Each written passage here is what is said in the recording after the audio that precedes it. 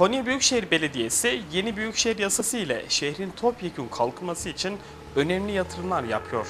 Büyükşehir Belediye Başkanı Tahir Akgürek, Konya'nın tüm ilçeleriyle birlikte kalkınması ve belli bir standardı yakalaması için gayret gösterdiklerini ifade ederek bu kapsamda tüm ilçelerde prestij cadde yatırımları yaptıklarını dile getirdi.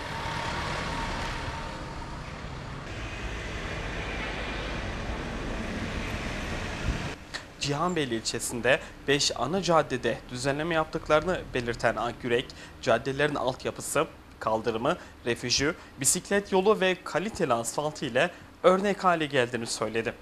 Konya Büyükşehir Belediyesi tarafından Cihanbeyli ilçesi, İnönü Bulvarı, Fatih Sultan Mehmet, Atatürk, Mehmet Akif Ersoy, Recep Konuk caddeleri ile 15 Temmuz Şehitler Parkı ve Meslek Yüksekokulu çevresinde yapılan çalışmalar 7.3 milyon liraya mal oldu.